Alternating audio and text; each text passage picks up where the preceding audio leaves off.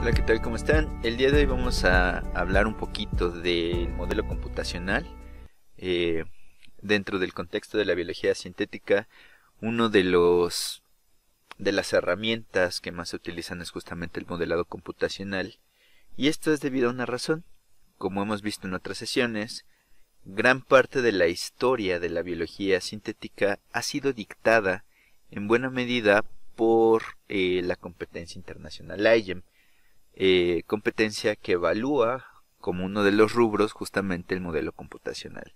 Entonces, eh, digamos que muchos de los proyectos que han marcado la historia de la, de la biología sintética, pues justamente eh, tienen un componente de biología computacional.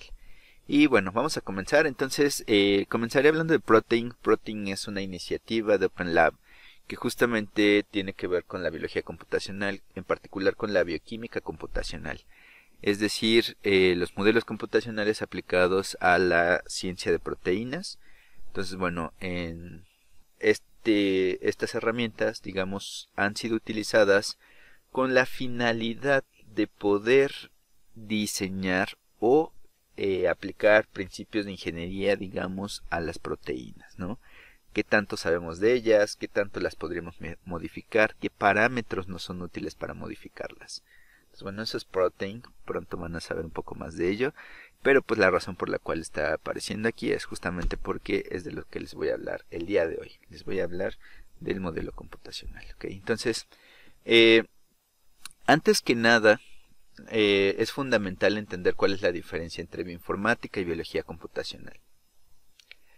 La bioinformática, eh, que, bueno, básicamente es la informática aplicada a los sistemas biológicos, eh, se encarga de ciertas tareas. En esta lista, por ejemplo, tenemos el almacenamiento de datos, las bases de datos especializadas, métodos y herramientas de análisis de datos y bases de datos, tuberías de análisis o los famosos pipelines, e información de los seres vivos. Mientras que la biología computacional se enfoca más en modelado matemático, métodos teóricos, simulaciones computacionales y ciencia de datos. Entonces de aquí, ¿qué es lo que extraigo? Que la bioinformática, eh, como, como se entendió históricamente, pues era eh, generar resultados, almacenar esos resultados experimentales tal vez en bases de datos que son accesibles, la mayoría de ellos, por ejemplo, entonces podemos encontrar secuencias completas de genes en el NCBI o estructuras de proteínas en el Protein Data Bank, etcétera, ¿no?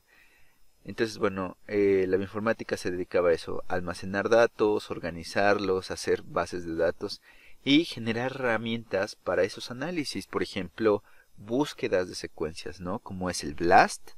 Eh, ustedes saben que en el mismo servidor de NCBI tiene una herramienta que es el BLAST, en la cual ustedes ponen una secuencia eh, y el algoritmo lo que hace va a ser buscar en las bases de datos. Es algo así como el buscador de Google, pero con una secuencia.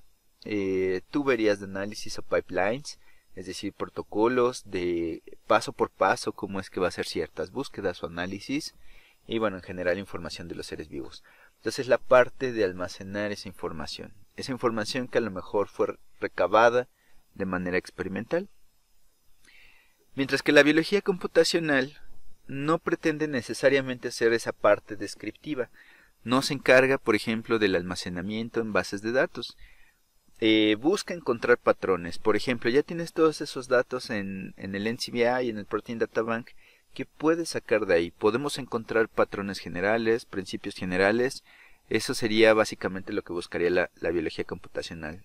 Usar, por ejemplo, análisis matemáticos o análisis estadísticos le, le, podemos llamar también ciencia de datos o Big Data Problems, porque lo que estamos haciendo es eh, analizar, digamos, una gran cantidad de información para tratar de encontrar patrones o comportamientos emergentes, ¿no?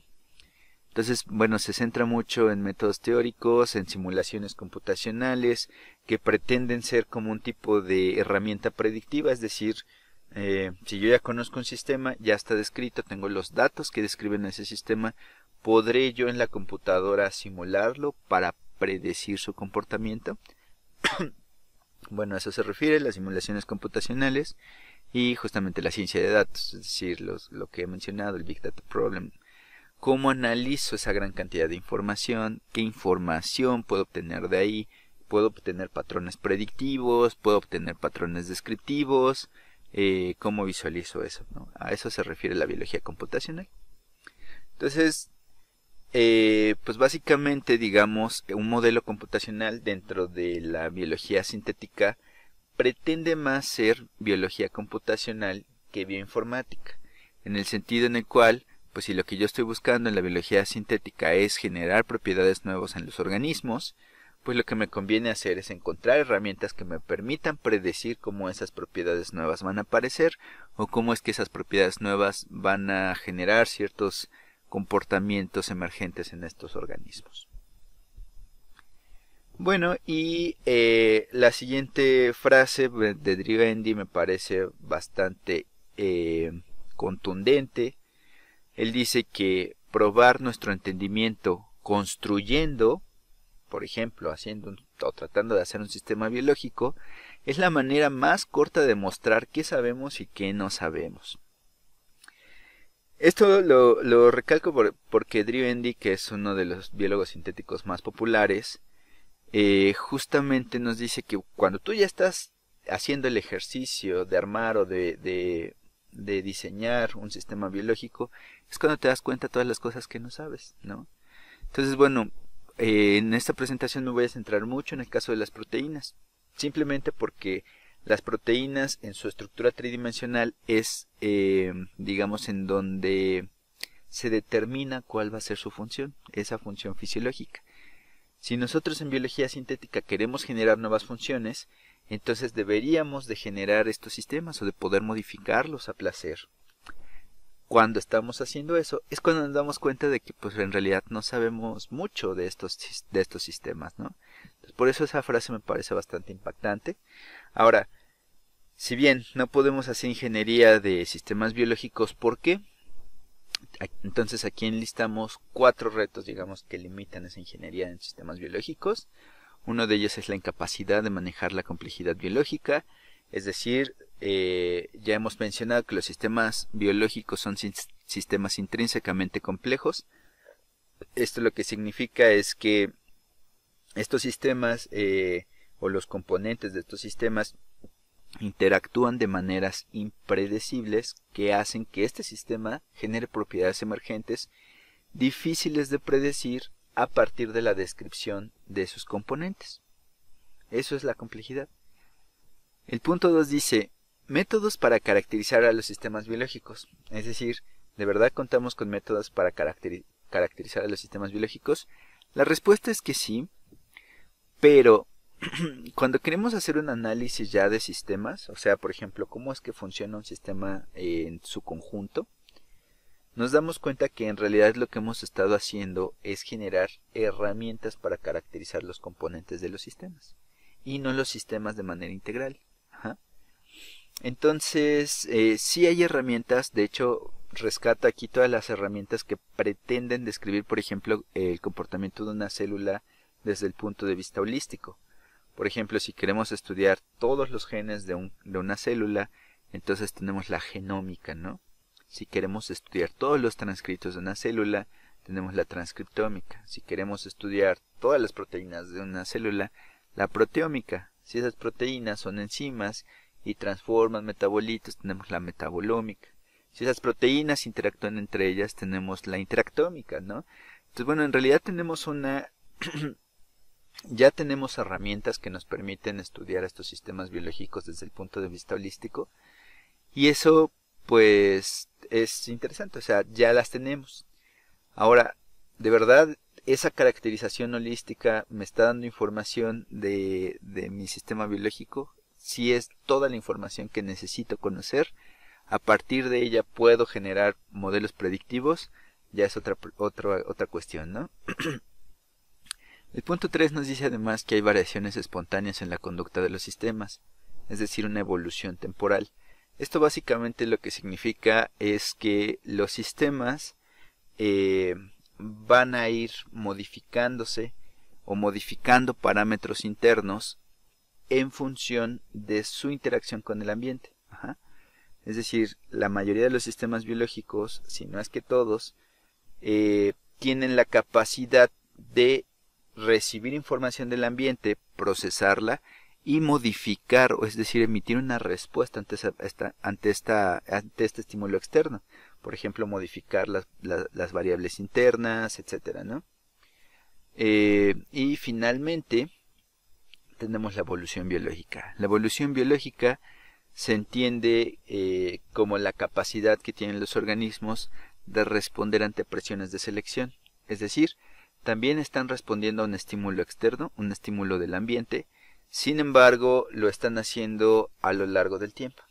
Bueno, y no es como la evolución temporal, a lo largo del tiempo implica también heredando esas características, ¿no? Aquí en evolución biológica, uno de los eh, fundamentos, digamos, es la capacidad reproductiva. Aquellos organismos que tengan una eh, mejores características que respondan de manera más efectiva a las condiciones del ambiente, es decir, que respondan a las presiones de selección, son los que con más frecuencia van a, van a poder dejar descendencia y por lo tanto preservar esas características.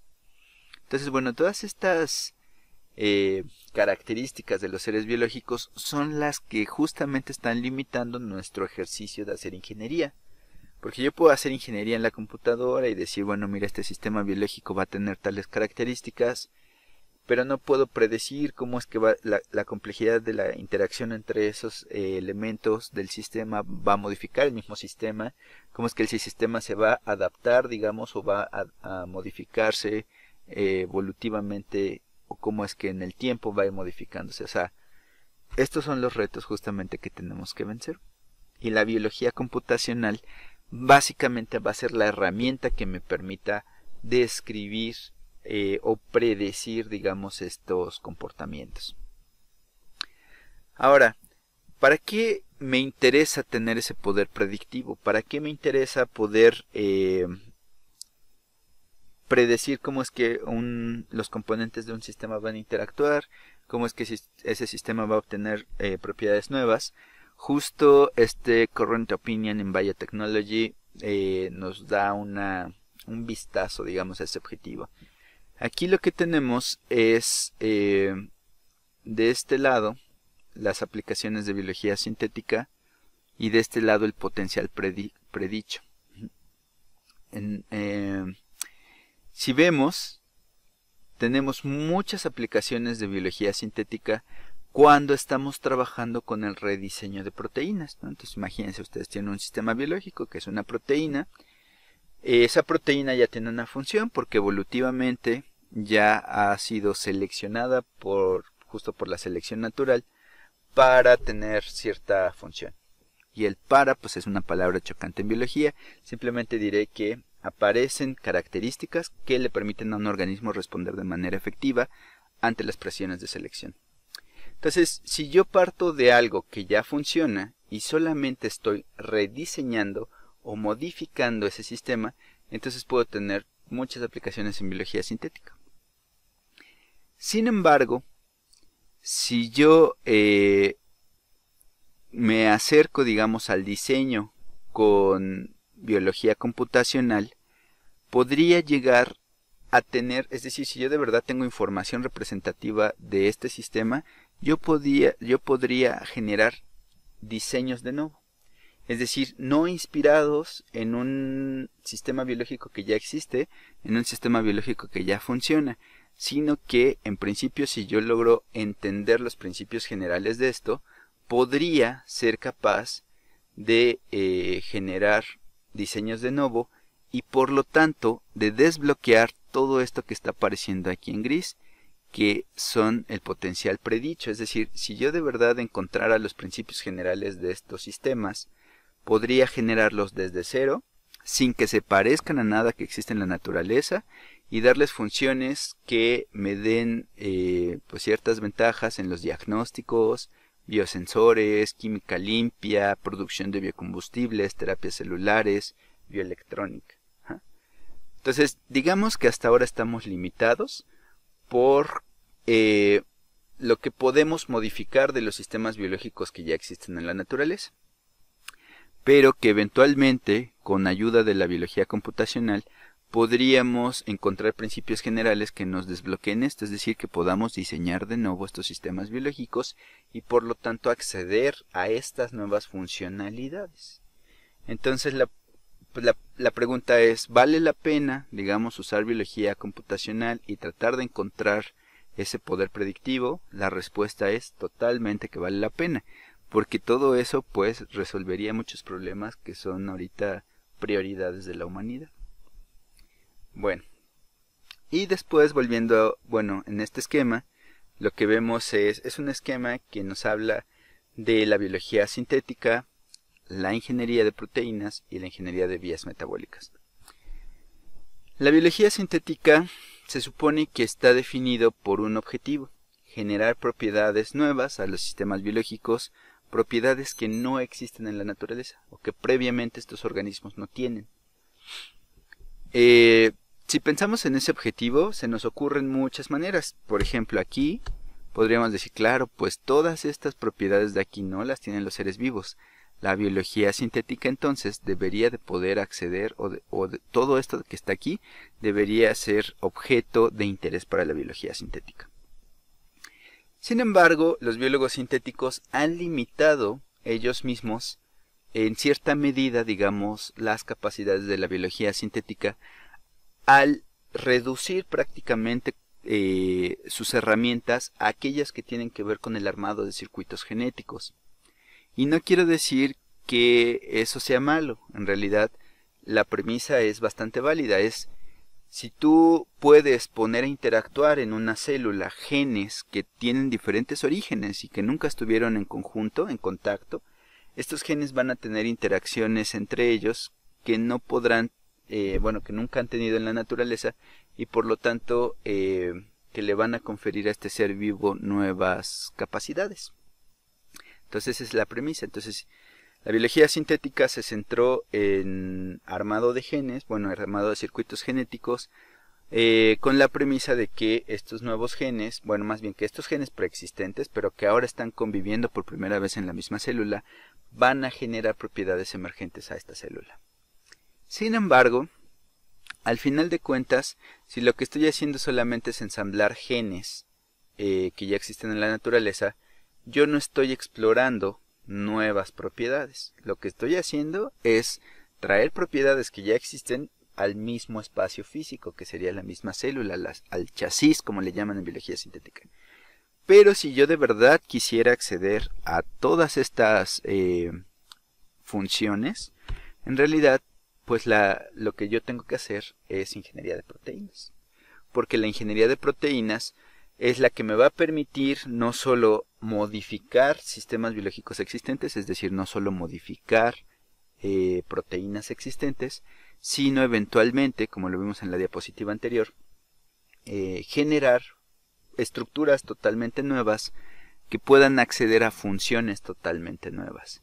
Entonces, en mi opinión particular, si de verdad queremos hacer biología sintética o cumplir con el objetivo de la biología sintética, que es generar propiedades que no existen en la naturaleza, lo deberíamos de hacer a partir de la ingeniería de proteínas. Estas proteínas entonces yo las diseño, eh, sintetizo los genes, hago todo lo de los circuitos genéticos, la ingeniería genética necesaria para que estas células las exprese y si mi modelo o mis modelos o mi biología computacional es suficientemente predictiva, entonces la función de estas proteínas debería de poder acoplarse.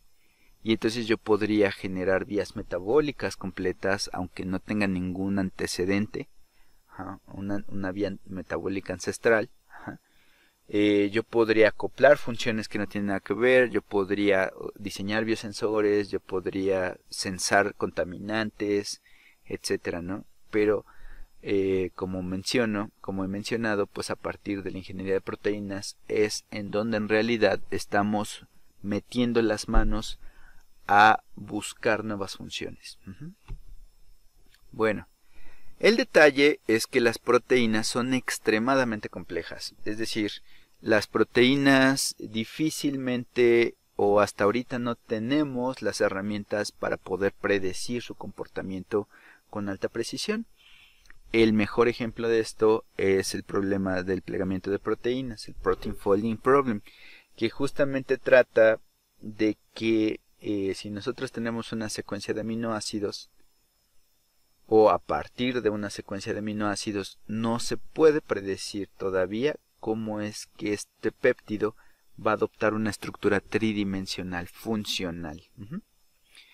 Ok, entonces eh, hay una controversia reciente, de hecho el video va a estar también aquí en esta sección, en donde una empresa llamada Alpha, AlphaFold propone un algoritmo basado en inteligencia artificial que predice con casi un 90% la, eh, la estructura tridimensional de una proteína a partir, digamos, de la secuencia de aminoácidos.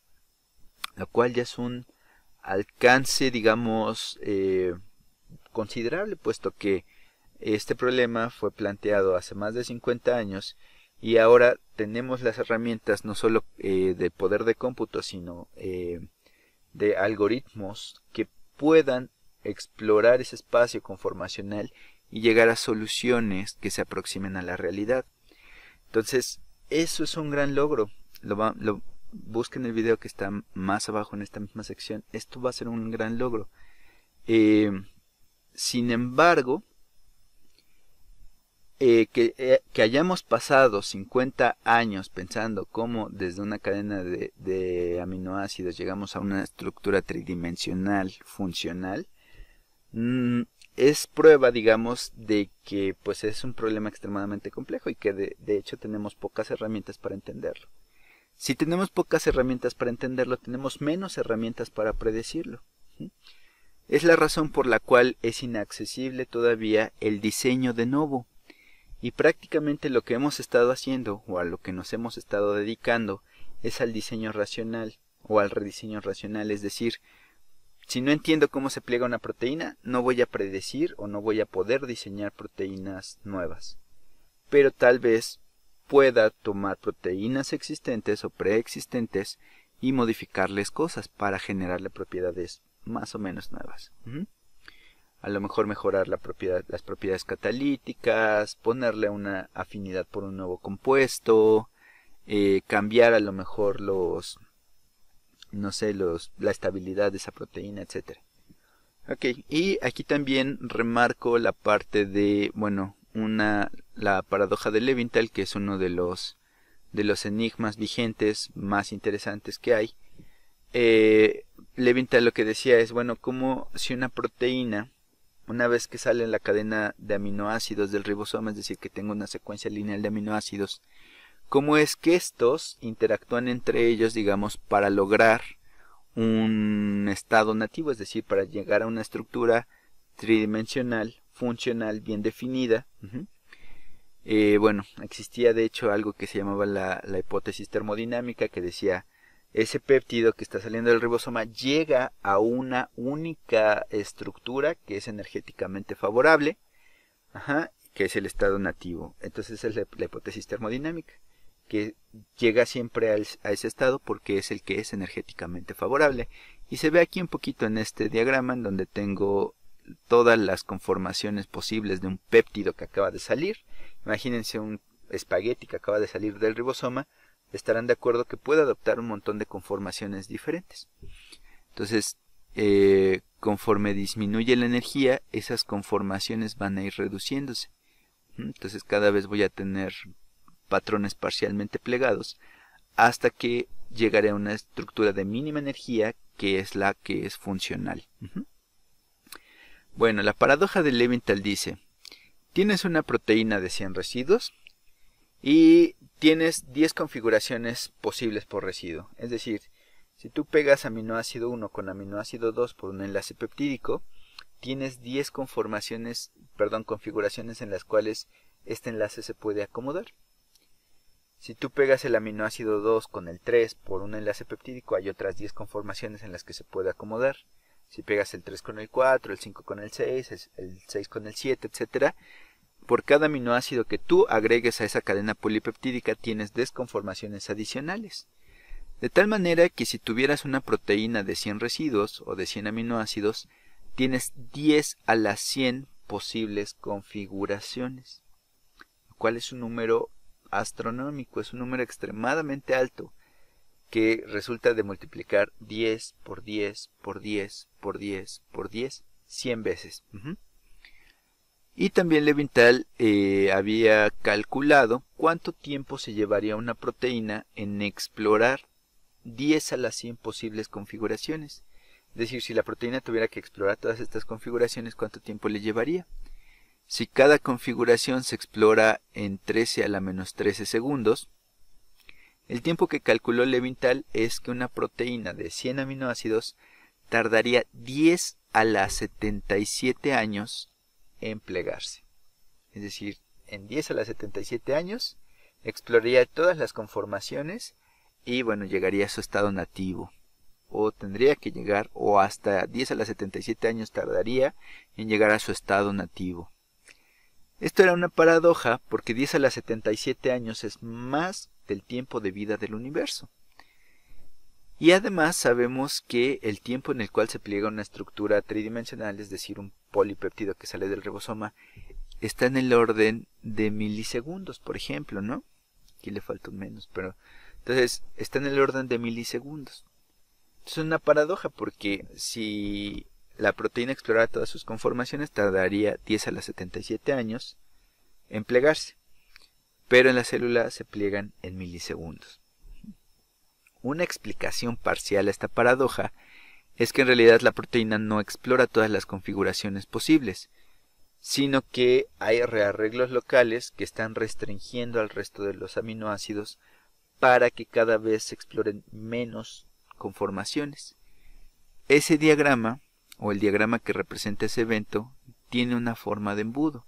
Básicamente nos dice aquí tienes toda la entropía porque son todas las conformaciones posibles, pero conforme empieza a haber patrones de plegamiento locales, entonces cada vez más restringes al resto del sistema y entonces cada vez más visitas menos configuraciones hasta que al final caes en este embudo. Por eso es relevante, digamos, esta noticia del, del Protein Folding Problem, porque quiere decir que hay algoritmos que han encontrado la manera de, de, lo, de que sin explorar todo el paisaje conformacional empiecen a predecir estos patrones de plegamiento locales que guían ese proceso de plegamiento. ¿Ok? Bueno, lo que está a continuación, eso, eso digamos es el, el problema matemático, el problema tal vez desde el punto de vista de las ciencias de complejidad de las proteínas. La razón por la que hasta ahora no existe o no existía un algoritmo que pudiera encontrar estas rutas de plegamiento. Esto que está aquí es la lista de todas las herramientas que usamos en la biología estructural que eh, nos permiten describir cómo es que se comportan estos sistemas, por ejemplo, cómo es que las proteínas vibran, cómo es que las proteínas tienen cambios conformacionales, cómo es que interactúan con un eh, ligando o cómo es que lo transforman en la catálisis, cómo es que varias proteínas se, se enciman entre ellas, etcétera, ¿no? Entonces, bueno, básicamente lo que nos dice este esquema es que yo tengo una colección de herramientas que me permite de em, resolver, digamos, en ciertos rangos de longitud y en ciertos rangos de tiempo, cuáles, digamos, son em, para cada herramienta, qué rangos nos permite o en qué rangos estoy explorando, ¿no? Por ejemplo, eh, nos dice que si queremos llegar a una resolución extremadamente alta, es decir, eh, a una longitud súper chiquitita, es decir, a nivel de átomo, por ejemplo, pero al mismo tiempo a tiempos extremadamente chiquitos, como podrían ser nanosegundos o picosegundos, la herramienta justamente es una herramienta computacional que es las simulaciones de dinámica molecular. Esta es la única herramienta computacional de este gráfico, puesto que el resto son herramientas de tipo experimental, por ejemplo, la resonancia magnética nuclear, que depende del estudio colectivo de los spins nucleares, las pinzas ópticas, que bueno, son eh, láseres que permiten interactuar con un átomo, con un grupo de átomos, el FRED, que es una herramienta que está asociada con la fluorescencia o los cambios de fluorescencia que podría tener una molécula, la electrofisiología, que bueno, ya se encarga de otros procesos macroscópicos, eh, como por ejemplo la sinapsis entre neuronas, etcétera. Esto ya es más como a la en el rango, digamos, de lo celular. Y asimismo tenemos herramientas que no resuelven en tiempo, es decir, que solamente eh, nos dan una descripción estática, por ejemplo, de cómo es la estructura de una proteína, sobre la cristalografía de rayos X, la herramienta por excelencia de los biólogos estructurales, y la crioelectromicroscopía, que en los últimos años ha tenido un gran auge justamente porque ha permitido eh, llegar a rangos de resolución extremadamente altos para complejos macromoleculares. Esto es muy interesante y fíjense que justamente por eso es que las herramientas se complementan. La cristalografía de rayos X permite con cierta precisión o con mucha precisión determinar la posición de cada uno de los átomos de cada uno de los aminoácidos de la proteína. Eh, pero en general estas proteínas o las proteínas que, cuya estructura se resuelve por cristalografía de rayos X son proteínas pequeñas. En cambio, la crioelectromicroscopía electrónica, crioelectromicroscopía, eh, es una herramienta que me permite igual ver átomo por átomo cómo es la estructura de todos los aminoácidos, de toda la proteína, pero para grandes complejos, para complejos multiméricos, para monstruos celulares, bueno, me refiero a, por ejemplo, una cápside viral, un filamento, una TPasa, etcétera, ¿no? Entonces, bueno, digamos, todas estas son nuestras herramientas para con las cuales podemos caracterizar experimentalmente, digamos, a un a estos sistemas que son las proteínas, pero vean que la de mayor resolución sigue siendo una herramienta exclusivamente computacional, es una herramienta que me permite simular a mi sistema y se llama eh, Molecular Dynamics o dinámica molecular. ¿Qué es la dinámica molecular? Y ahora sí vamos a entrar, digamos, al campo directamente de la biología computacional. Pues bueno, si imaginamos que tenemos un sistema macromolecular de múltiples componentes, donde cada uno de estos componentes, por ejemplo, pues podrían ser átomos dentro de un aminoácido o aminoácidos dentro de una proteína, entonces tenemos que tomar en cuenta que estos átomos van a interactuar entre ellos o estos aminoácidos van a interactuar entre ellos. La descripción de cómo ocurren esas interacciones eh, se va a hacer, o bueno, se ha caracterizado por algo llamado los campos de fuerzas. Básicamente la dinámica molecular se refiere a la, bueno, o está basada en la mecánica clásica, en particular en la, en la segunda ley de Newton, que nos dice que eh, aceleración es igual a fuerza sobre masa o que fuerza es igual no, sería que fuerza es igual a masa por aceleración. Entonces, si despejamos a la aceleración, tenemos que fuerza, perdón, que la aceleración es igual a fuerza sobre masa. Entonces yo puedo calcular la aceleración, es decir, la dinámica de estos átomos con estos dos componentes. Una fuerza que es el llamado campo de fuerzas, que es la energía, digamos, de los átomos enlazados y los átomos no enlazados. La masa, que es bastante bien definida y bastante bien conocida para estos sistemas, y la aceleración, que justamente, como sabemos, pues está definida por cuánto me muevo con respecto a cierto tiempo, ¿no? cuánto puedo desplazarme con respecto al tiempo, esa es la aceleración, y bueno, es una segunda derivada de la posición de cada uno de los átomos con respecto al tiempo en el cual se están moviendo esos átomos, ¿no? Entonces, la dinámica molecular no es más que resolver esta ecuación. Es decir, voy a calcular cuál es la aceleración usando para ello la masa, que ya la conozco, y la fuerza que es una serie de reglas o sí, como de instrucciones de cómo es que van a interactuar estos átomos. Esto es el campo de fuerzas, entonces básicamente eh, las instrucciones de cómo interactúan estos átomos me, describen eh, qué tipo de interacción, con qué fuerza, eh, con qué tiempo, cuál es el tiempo de, medio, digamos, de esa interacción, etcétera, ¿no? Entonces, esta serie de instrucciones de cómo es que los átomos se van a comportar entre ellos es justamente lo conocido como el campo de fuerza. Y existen campos de fuerza optimizados, en general se optimizan experimentalmente, existen campos de fuerza optimizados, por ejemplo, para representar cómo sería el comportamiento de una proteína. Entonces, bueno, entre los campos de fuerza eh, más adecuados, digamos, para simular esto, este tipo de sistemas está justamente el de Amber.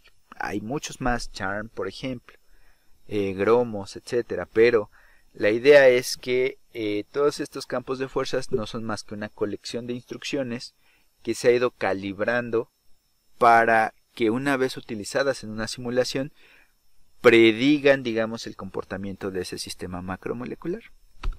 Entonces, aquí están las ecuaciones que describe cada una de estas interacciones y lo que hace una computadora justamente cuando está haciendo la simulación de este sistema es resolver esas ecuaciones todo el tiempo para todos los átomos. Esa es la razón por la cual requerimos poder de cómputo eh, o mucho poder de cómputo si lo que queremos es simular todo ese sistema y ver con estas reglas cómo es que este sistema empieza a comportarse. Si lo quieren ver desde el punto de vista de la complejidad, lo que estamos haciendo es describir cómo van a ocurrir las interacciones entre los componentes del sistema. Tiene poder predictivo, eso es a lo que vamos a lo que vamos y para ello voy a ilustrar con este video.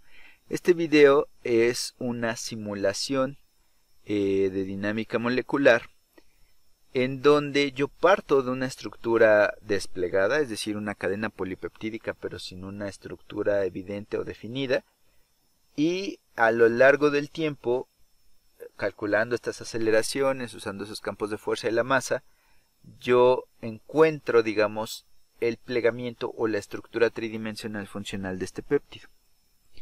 Entonces vean, eh, aquí me dicen que es una simulación de un milisegundo y como he mencionado, pues lo que vamos a tener al inicio pues es una cadena polipeptídica desplegada, tal cual sale del ribosoma, y lo que me representan aquí es cómo es que si yo estoy simulando en la computadora, es decir, resolviendo esas ecuaciones del campo de fuerzas, estoy simulando cómo van a interactuar los átomos entre ellos, eventualmente podré predecir el comportamiento final.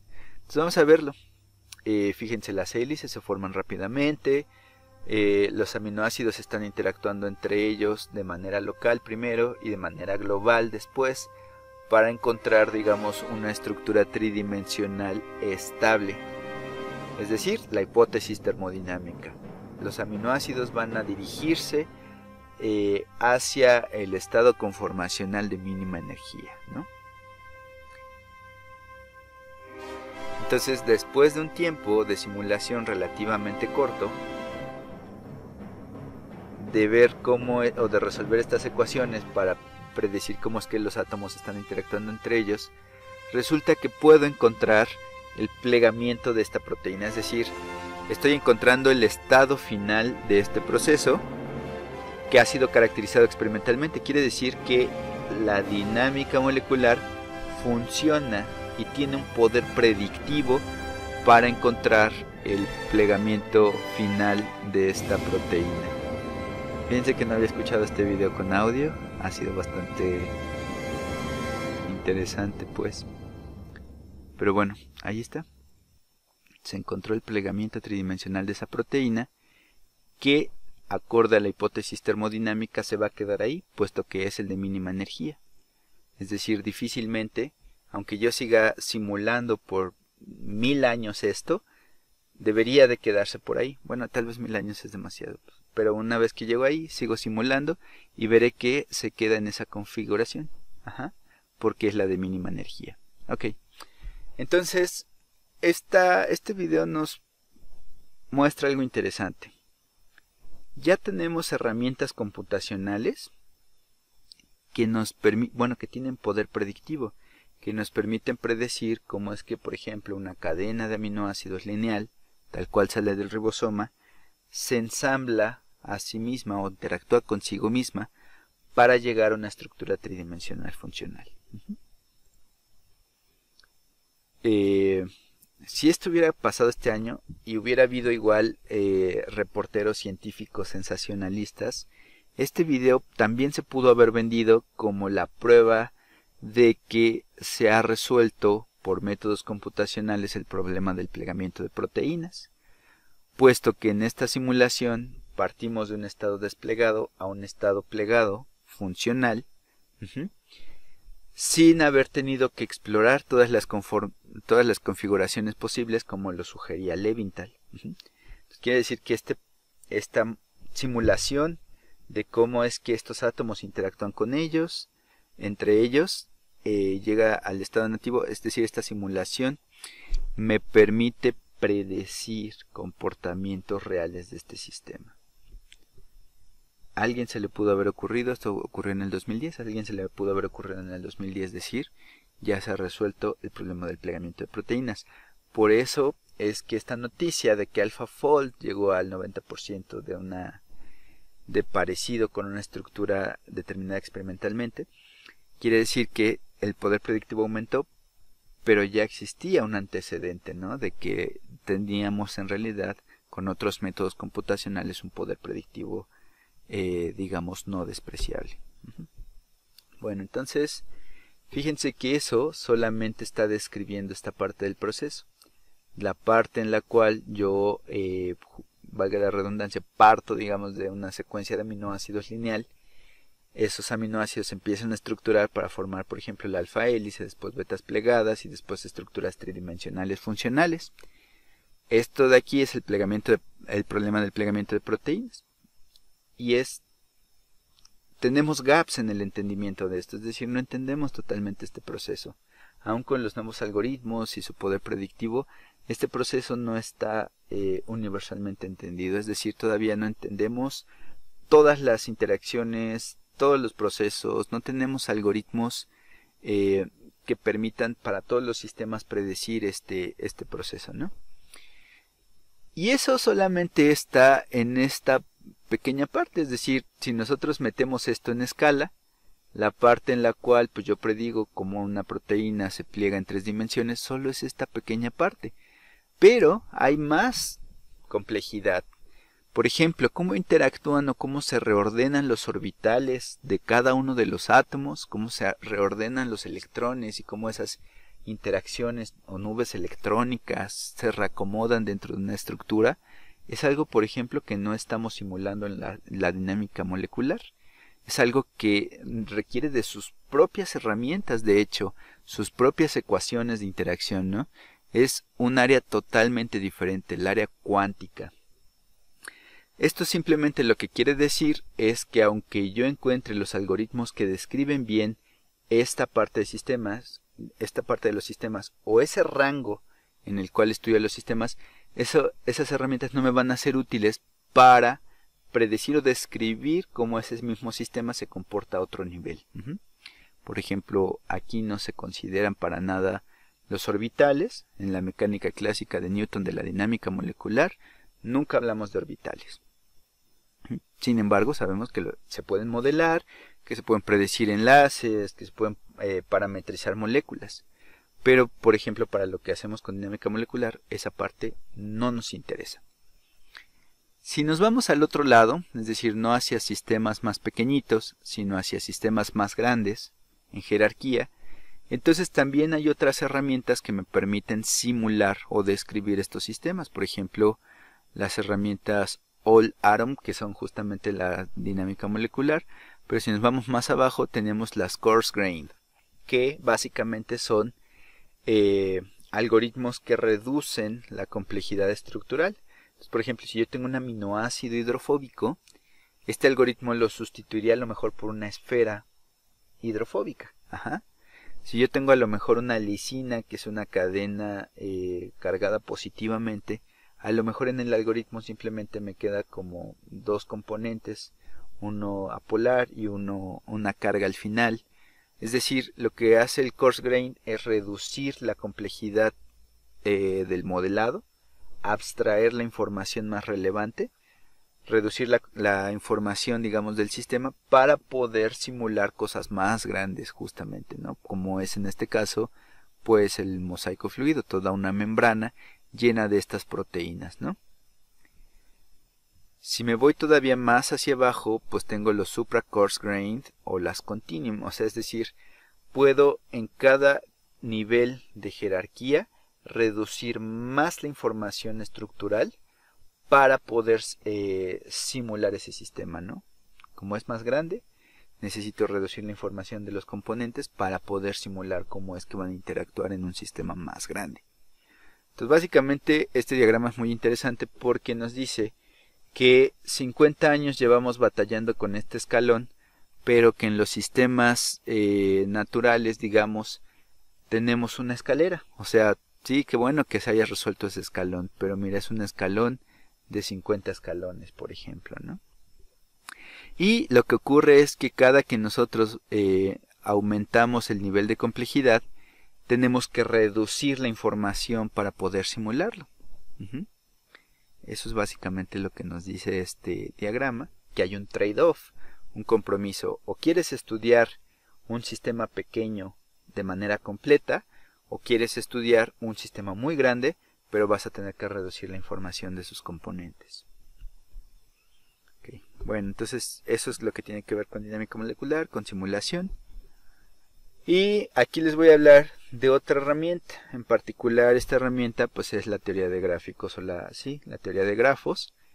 Básicamente lo que me dice esta herramienta es que yo puedo describir las interacciones de un sistema solamente por la información. Es decir, yo solamente estoy describiendo cómo es que los elementos de este sistema están conectados en esto que voy a llamar la topología de una red. Entonces esto es una red.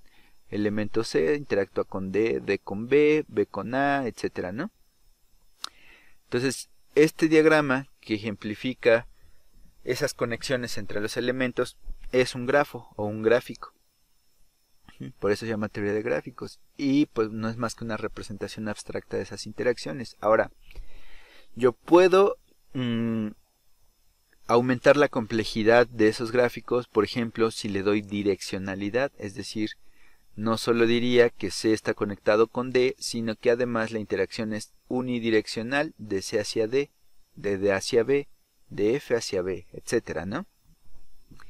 Yo también podría decir que hay redes no dirigidas, es decir, que no tienen esa direccionalidad, pero sí ponderadas, en donde yo podría decir que hay interacciones que son más relevantes que otras. Por ejemplo, que la interacción D con B, al ser más fuerte, digamos, es eh, más importante tal vez que la D con C o que la C con E.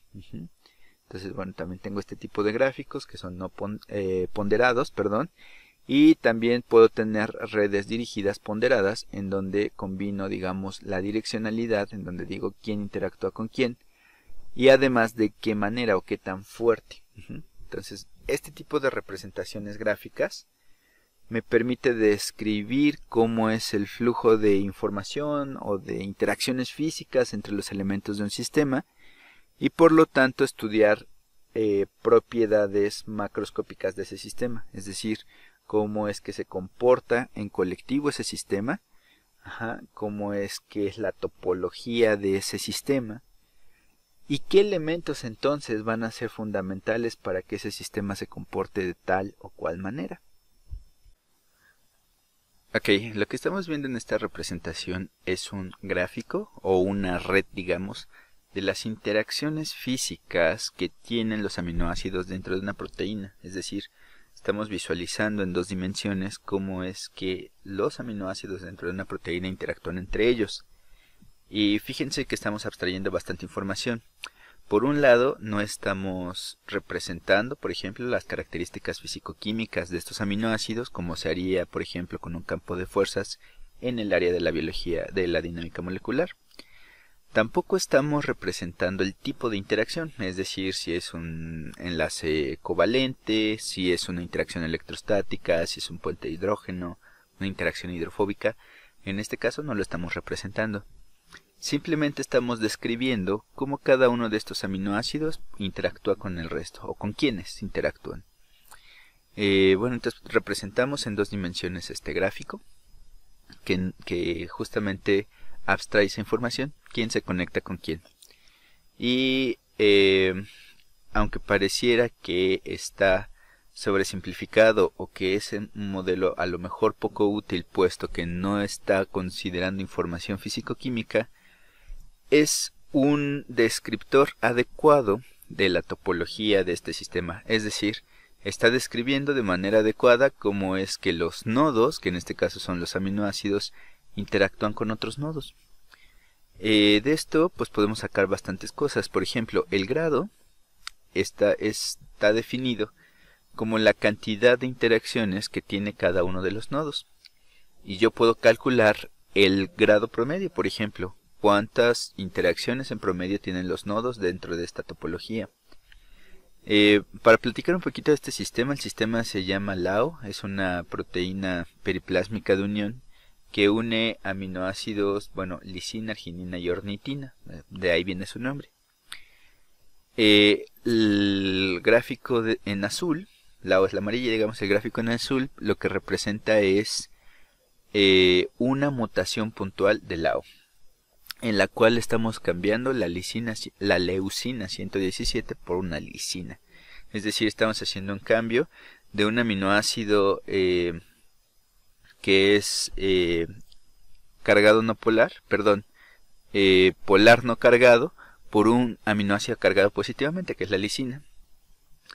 Y ustedes dirían, bueno, si estás haciendo solamente un cambio eh, en esa propiedad de, la proteína, bueno, en un aminoácido particular de esa proteína, eh, ¿cómo es que cambia la topología? A simple vista, la topología o el gráfico que tengo en amarillo y el gráfico que tengo en azul son distintos.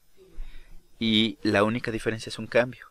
Y ese cambio además pues es eh, un cambio físico-químico. O sea, aquí nos está representando la físico-química. ¿Por qué es que puedo ver ese tipo de alteración? La razón es simplemente que todos los aminoácidos juegan un papel fundamental en la topología de estas estructuras. Por lo tanto, cualquier modificación a cada uno de estos nodos podría propagarse al, a diferentes nodos, ¿no? Para eso nos sirve esta herramienta para ponderar qué aminoácidos tienen eh, más peso, digamos, en, la estabilidad de la topología y cuál es menos peso. Por ejemplo, si yo encuentro un aminoácido que, es, que tiene pocas conexiones, cuyo grado es bajo, digamos, eh, lo podría quitar, lo podría modificar sin afectar de manera significativa el resto de la red. Sin embargo, si tengo un aminoácido que está relativamente conectado o bien conectado con el resto, pues eso va a ser un poco más complicado. Eh, además puedo calcular diferentes características eh, o puedo caracterizar de diferentes maneras las propiedades estadísticas, digamos, de este gráfico. Por ejemplo, como he mencionado, el grado promedio. Fíjense que cambia de manera significativa en la LAO, que es eh, la proteína silvestre, digamos, y la que tiene una mutante. Aunque esto parezca un cambio pequeño, quiere decir que un solo cambio de 250 aminoácidos, o sea, uno solo de 250 elementos de esta red, es suficiente para sesgar de manera significativa las métricas de esta topología. El diámetro de la red, por ejemplo, que está asociado con la cantidad de nodos eh, por los cuales tengo que pasar para llegar de un lado a otro de la red, también se modifica de manera significativa. Eh, básicamente lo que nos quiere decir esto es que las proteínas son sistemas que están eh, muy conectados, los elementos digamos de este sistema están bastante conectados y cualquier perturbación, por pequeña que sea, a lo mejor en un nodo, esa perturbación se puede propagar y puede generar consecuencias a diferentes distancias. Entonces, ¿para qué nos sirve la teoría de gráficos? Si al final, pues como he mencionado, no está representando necesariamente un... o no está... sí, estamos eh, quitando de este sistema o de esta representación toda la información físico-química. Eh, fíjense, esto, esto de aquí, eh, o más bien, de los gráficos o de las redes, podemos obtener algo llamado medidas de centralidad, que son básicamente eh, parámetros estadísticos que nos permiten ver justamente o ponderar qué tan importante es uno de estos nodos en el peso global de una proteína. Por ejemplo, ¿cuántos para llegar de un aminoácido de un nodo a otro? ¿Cuántos aminoácidos hay en el camino? ¿no? Imagínense, céntrense en un aminoácido de los 250 aminoácidos de esa proteína y ahora calculemos los caminos de cada uno de los aminoácidos a ese particular. Entonces vamos a contar cuántos caminos posibles hay de cada aminoácido a ese centro. Evidentemente eh, los aminoácidos mejor conectados van a ser aquellos cuyos caminos sean más pequeñitos, ¿no? Entonces, por ejemplo, es lo que podríamos calcular. Si yo eh, graficar esas distancias, por ejemplo, o pudiera graficar o, calcular, digamos, las distancias de esos caminos, entonces yo diría aquellos aminoácidos o nodos con mínimos, es decir, con, rutas más cortas, deben ser los mejores conectados. Y bueno, eh, lo que representa este trabajo, que es de del doctor Luis Olivares, profesor de la Universidad Autónoma de la Ciudad de México, eh, este, este trabajo lo que nos dice es que él utilizó este descriptor como un eh, marcador, digamos, de la importancia de los aminoácidos dentro de la topología de la red y encontró que aquellos residuos que han sido caracterizados experimentalmente como los aminoácidos catalíticos, es decir, estos tres son la triada catalítica de esta enzima, eh, se pueden encontrar con este descriptor. Ah, o sea, todos los aminoácidos que participan en la catálisis en una enzima parece que se pueden encontrar con esta descripción. Y no es la única. Por ejemplo, si nosotros midiéramos para cada uno de los nodos de una red la cantidad o el grado, digamos, de cada uno de esos nodos, es decir, la cantidad de enlaces que forma cada uno, los aquellos que tienen mayor cantidad de conexiones o más interacción o un grado mayor, pues quiere decir que están mejores conectados en esa topología. Él encontró que los mismos aminoácidos que han sido caracterizados experimentalmente como los residuos catalíticos, pues también son máximos en este gráfico. Quiere decir que estas medidas estadísticas eh, aunque hayamos quitado, digamos, de nuestro, de nuestro sistema toda la parte físico-química, solamente por la cantidad de conexiones y la conectividad que tienen estos elementos con el resto de la topología de la red, nos podrían servir para describir su importancia. Qué tan conectados están podría ser un buen descriptor para, por ejemplo, predecir residuos catalíticos. En la ingeniería de proteínas, estos descriptores los utilizamos para decir aquellos eh, aminoácidos que están muy bien conectados no los deberemos tocar porque evidentemente si hacemos un cambio ahí vamos a generar eh, perturbaciones en todo el sistema. Es decir la, la, perturbación que hagamos a nivel local se va a propagar en el sistema por si es que es un aminoácido bien, bien conectado. Si no lo es probablemente podamos modificarlo. Entonces es una herramienta que nos permite ponderar dónde mover y dónde no mover, digamos, o dónde cambiar o dónde no cambiar aminoácidos, dónde hacer mutagénesis dirigida, dónde no hacerla, ¿no?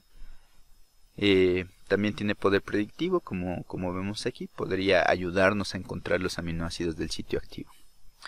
Y bueno, estos dos artículos que pongo aquí simplemente son eh, estrategias que combinan dinámica molecular y teoría de gráficos, en las cuales eh, lo que se hace es una dinámica molecular. Entonces la dinámica molecular ya hemos visto, vamos evaluando cómo es el movimiento de cada uno de los átomos de ese sistema. Eh, y a cada frame o a cada foto, digamos, de esa película, le hacemos un gráfico, una red. Entonces podríamos evaluar cómo es que va modificándose la red a lo largo, digamos, de una trayectoria de dinámica molecular.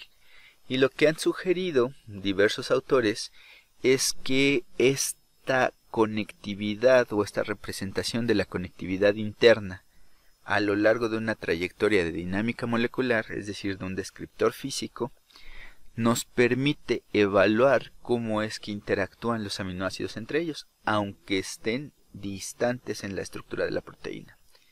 Por lo tanto, son un buen calificador de alostería y cooperatividad. Eh, como sabrán, la alostería y la cooperatividad eh, se asocian con la interacción que hay entre sitios de unión dentro de una misma proteína. Entonces yo puedo tener una proteína que tenga un sitio de unión de un lado y un sitio de regulación del otro lado. El sitio activo y el sitio del inhibidor o del activador alostérico. Y lo que sabemos experimentalmente es que la unión de un efector alostérico, inhibidor o activador se propaga hasta el sitio activo. Pero no sabemos cómo, ni teníamos muchas herramientas para caracterizar esa propagación.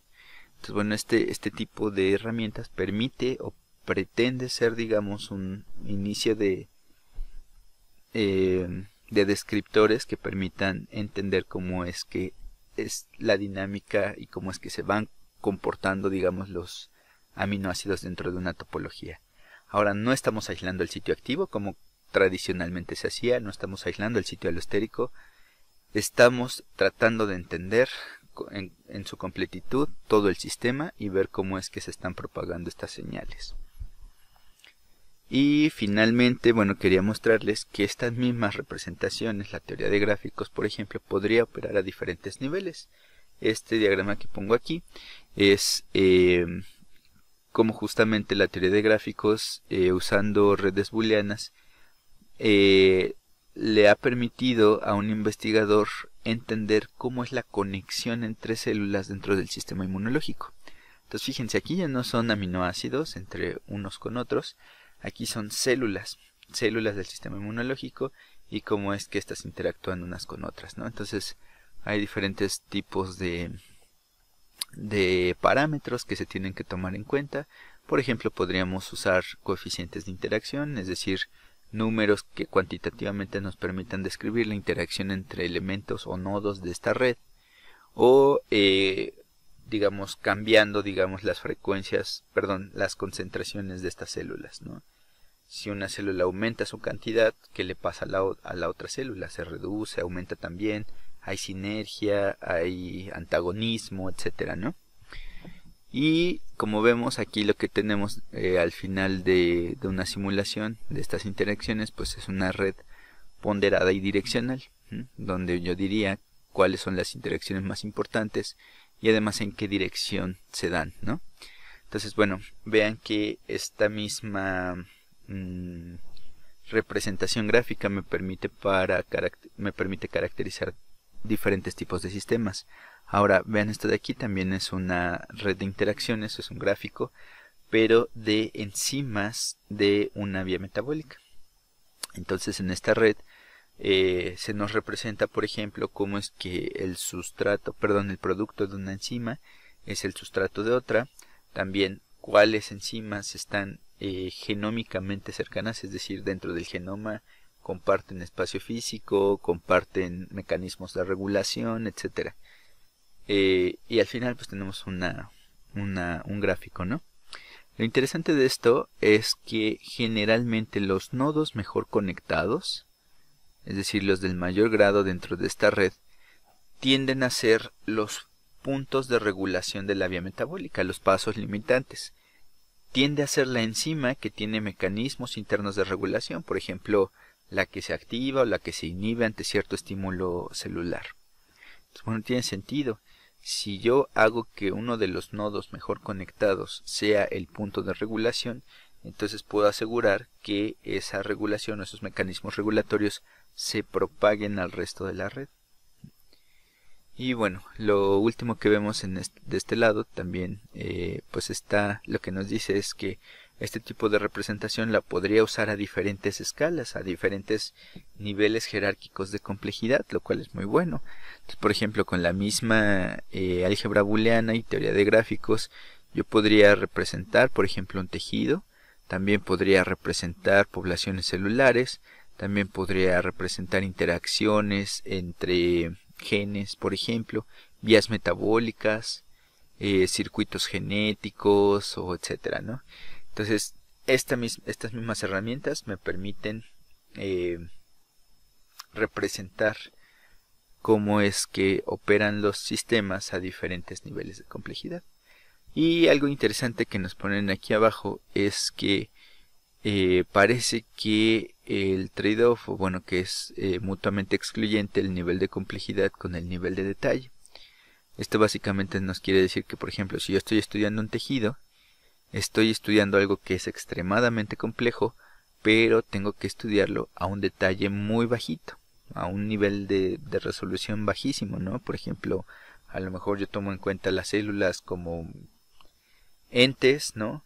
Pero sin despreciando a lo mejor todas sus vías metabólicas, todas sus moléculas de señalización, eh, receptores, hormonas, etcétera, ¿no?